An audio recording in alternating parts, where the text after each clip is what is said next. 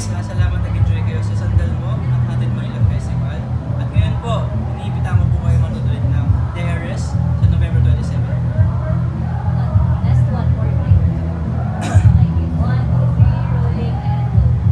Hi guys, salamat at nag-enjoy kayo sa Sandal Mo ng Haunted Manila Festival. At ngayon po, uh, iniimbitahan ko po kayo manood ng The Heiress sa November 27. Makoy de Leon. Haunted Manila. It's all one and What's up mga people? Ganda gabi sa inyo lahat. Ah, nandito po ngayon para imbitahan kayo. Kung pwede lang magkanta, kakanta ako. Gusto niyo ba? Next time. Pero gusto ko lang sabihin po sa inyo at ako po si Makoy De Leon at sa mga di po nakakilala, uh, nilo po sa inyo magandang gabi. At ah, ako po ay gaganap bilang Reds. Nakita niyo naman po sa The Harris. Siyempre, um, gusto ko lang sabihin, kung napuno ko ng takot, ah, yung kaba sa dito, sa mismong Six Night ah, Festival ng ating Manila Festival. Ah, kung napasigaw kayo kay Mama Lara, kung nakita niyo sa escape room, sino ba napunta sa escape room? Kaya thank you so much po. Si Mama Lara po yun, yung mismong multo dito. At um, siguro, ah mamaya baka makadali na. Kung gusto niyo ako samahan, pwede niyo ba ako samahan kasi nanatanag ka. okay ba yan? Kaya yan, November 27 yung makikilala niyo po siya at um, si mismo Mama Lara at buong cast po nandito rin po. And masaya ko lang po ito ah, bumabas. At syempre kasama ko rin po si Miss Janela Salvador po as the Harris.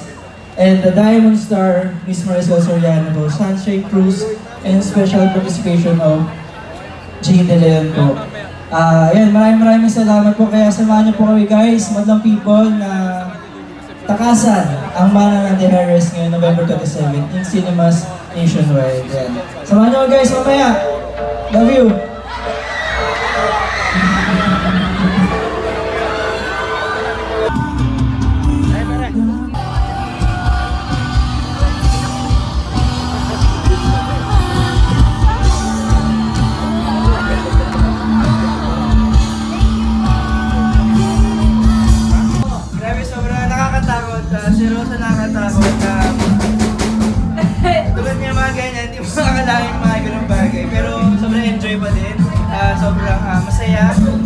Pagkasama mo sila.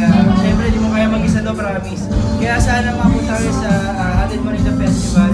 Ah, nakakatawa ah, sa sa merong part dito sa escape room ang sa theme ng Heiress. At ako mismo na-experience ko yung personal at ako enjoy ko. Ah, Sino yung sumagot? Sino yung nakafigure out? Sino yung loob? Hindi naman hindi ko walang kapagayabang na. Pero lahat naman tulungan. Kumbaga, lahat naman. Basta, actually, hindi ko akalain na ikisero pala ako, magtakot ako. Sobrang straight English ko eh. Nung nagtakot, natakot ako. Kumbaga, ah, yun, hindi ko naisip mga ganun bagay. Kaya na-enjoy ko. Kaya, So, ano gusto mo sabihin sa mga fans mo, sa mga nag-aabang ng The Heiress? Invite mo naman sila. eh sa mga gusto matakot, uh, makikilala nyo na si Tia Luna, tsaka si Mama Lara, at syempre si Kia. Diyan din sila lahat ngayon at ako po si Renz. Kaya sana pumunod po kayo. Pumunta? Oo, wala yan. Wala po yan, promise. Shock-shock ang Pero pag ginalaw mo yung kamay, May kipag-shake hands yan, syempre.